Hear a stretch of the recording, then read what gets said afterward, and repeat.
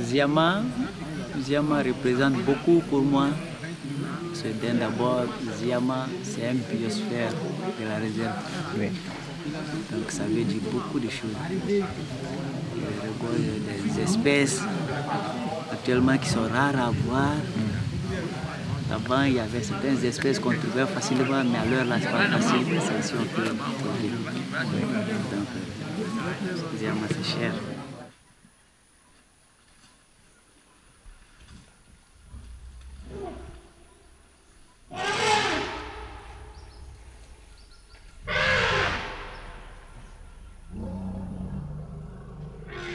So the main objective of our project was to provide the rangers of Ziama in Guinea and West Africa with high quality equipment to enable them to carry out their duties safely and effectively, thus ensuring the better protection of the forest elephants and their forest habitat. To get to Ziama in Guinea, we actually had to travel to Monrovia in Liberia and up to Guinea by road with the help of Fauna and Flora International.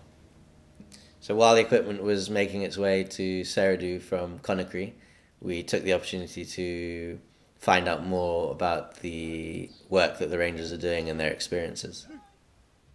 We attended the monthly meeting between the rangers at the CFZ headquarters in Seredu. This gave us the opportunity to chat to a few rangers to find out about their experiences.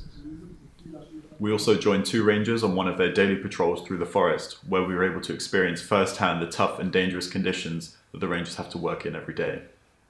Euh, le matin, si on doit aller pour le suivi, on fait le déjeuner. On peut se lever à la maison à partir de 8h, 8h30. Nous allons en brousse. Comme le biomonitoring, on ne marche pas vite. C'est pour aller doucement pour essayer de faire des observations au niveau de la faune, au niveau aussi des activités anthropiques. Parce qu'en brousse, en marchant, si tu fais beaucoup de bruit, tu ne peux pas avoir la chance de rencontrer quelques, quelques animaux. Et s'il y a aussi un braconnier, il peut se cacher de vous. Donc, on essaie de travailler comme ça jusqu'à. Comme on n'a pas d'équipement de camping, on va jusqu'à un certain niveau, comme vers 13h, 14h ou bien 15h comme ça, on commence à revenir au village. Là, on peut arriver à la base vie entre 17h et 18h comme ça. Et ce jour-là, la journée de travail. On se repose et le lendemain, on commence la même chose. Je prends le côté de nos amis qui font la suivi des éléphants à cause des dégâts que les éléphants causent dans les villages. Donc, euh, les gens ils disent que nous, on protège les éléphants. Et les éléphants, ils vont, ils gâtent. Donc, ils sont fâchés contre nous à cause de ça.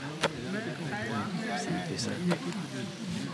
Bon, les difficultés qu'on a, comme je disais, ici d'abord quand on est en forêt c'est bon parce que le soleil ne te touche pas, mais quand il y a la pluie, c'est la grande, la grande difficulté, la pluie. Parce que quand il pleut, il faut éviter. Parfois il y a les arbres qui tombent d'eux-mêmes. Parfois il y a les cailloux aussi, c'est au niveau des montagnes. À Sangromé, il y a une montagne qui s'est décapée, crisement. Il y a une grande partie qui s'est crisée. Ça a couvert même un champ de riz. Vous comprenez? Donc quand il pleut, il faut se méfier d'être en forêt. Il faut chercher un coin dénudé, comme ici, là où il n'y a pas de bois. Vous s'attendez la pluie.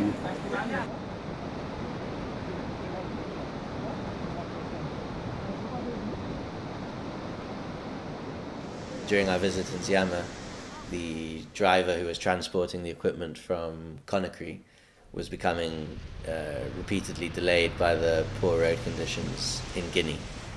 And with our last day fast approaching, um, he actually contacted us to say that he was stuck in a roadblock around four hours from where we were.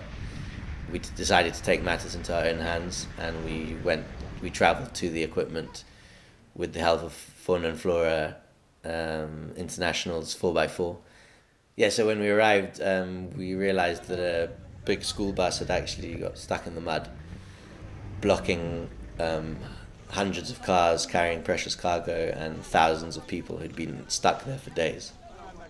Thanks to the help of some locals, we were able to carry the equipment uh, to the other side of the roadblock and drive the equipment back to the headquarters in Seredu, where the CFZ superintendent was waiting for us to officially receive the equipment.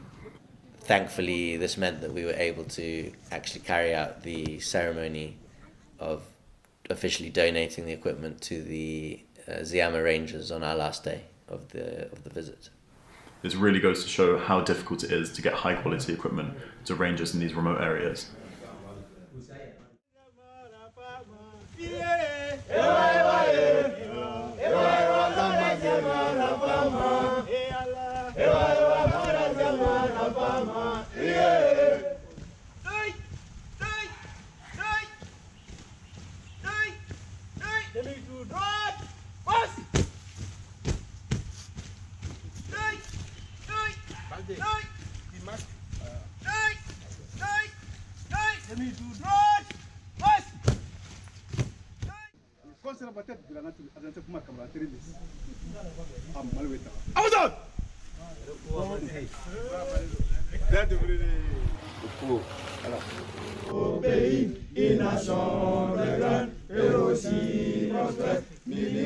So thanks to the generous donation of the International Elephant Foundation, the Ziama Rangers are now better equipped to carry out their duties safely and effectively, um, thus ensuring the better protection of Ziama's last forest elephants and their forest habitats.